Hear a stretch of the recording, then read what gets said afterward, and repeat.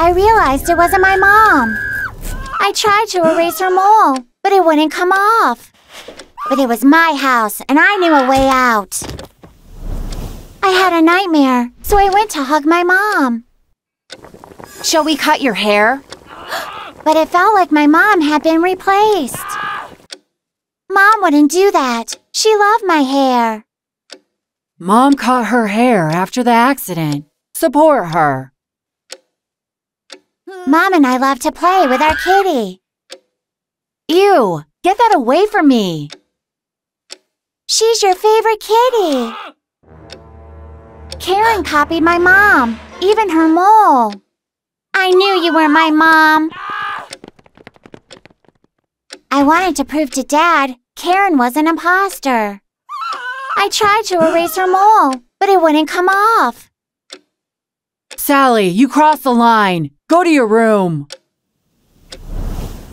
Mom said, go to God when you don't know what to do. When I entered the church, I saw Mom. But she didn't remember me. Honey, are you lost? Where is your mom?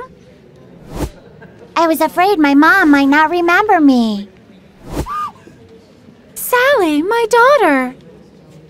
Stroking my hair, my mom began to remember. she said she had an accident and saw a woman, her double. Later, doctors called Dad, but he didn't pick up. It's Karen. Same name as mine. But who is she? I took Mom home. Sister, you're alive? I didn't know I had a sister. I have a lot to tell you. Karen asked me to bring tea from the pantry. But when I got there, she locked me in. Karen told Mom they were parted at the children's home. You lived the life I was supposed to live. So you set up the accident? Now to finish what I started. My mom was speechless. Karen wanted to lock her in the pantry too. But it was my house and I knew a way out. Mom was under a strong sedative. Doctors helped her wake up, but suddenly... Ah! Cuff her! She stole my daughter!